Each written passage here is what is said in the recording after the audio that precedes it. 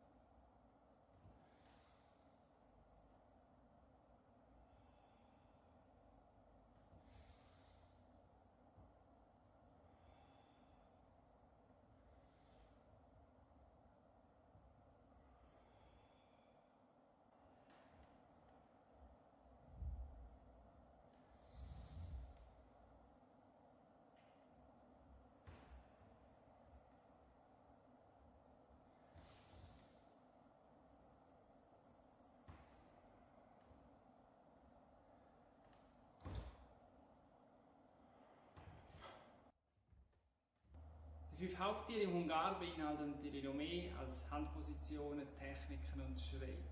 Es ist ein ganzes System hinten dran.